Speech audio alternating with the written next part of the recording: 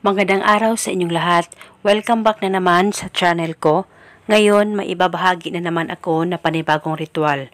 At kung bago lamang napadaan, ay huwag niyo pong kalimutang mag-subscribe at pindutin ang notification bell para palagi kayong updated sa mga bago kong videos. Gusto mo ba na siya ay mababaliw ng husto sa'yo? Malayo o malapit man kayo sa isa't isa? Yung ikaw lamang palagi ang pakakaisipin niya at ikaw lang palagi ang laman ng kanyang puso't isipan. Kung gusto mo na maging ganito ang partner mo sa'yo, ay gawin mo itong ritual na ibabahagi ko. Lalong-lalo na kung kayong dalawa ay palagi na lang nag-aaway at palaging nagtatampuhan sa isa't isa at away bati kayong dalawa. Kaya gawin itong ritual na buo ang loob at tiwala mo. Pwede ito gawin sa kahit na anong araw o oras na gusto mo as long as naniniwala ka sa mga ganitong pamamaraan.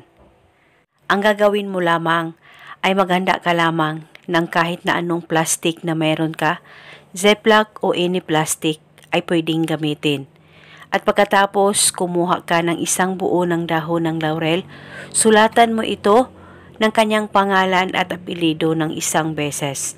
At pagkatapos, isilid o ilagay ito sa plastic na inihanda mo at pagkatapos mo nang masilid ang dahon ng laurel, kumuha ka lamang ng isang kutsarang asin at isilid o ilagay mo rin ito sa plastik kasama ang dahon ng laurel.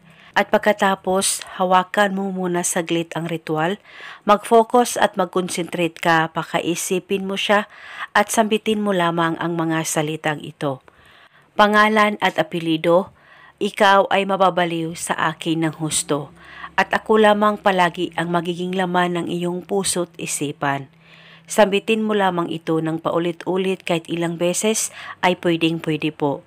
Pwede mo dagdagan o ibahin ang hiling kung gusto mo wala pong problema. At pagkatapos, pwede mo nang iipit sa bulsa mo itong ritual at dalhin mo ito kahit saan ka man magpunta. At pwede mo naman itong ilagay lang sa damitan mo at itago ito hanggang kailan mo gusto. Hindi na po ito kailangan pang bulungan, basta itago ito sa safe na walang makakakita at makakaalam.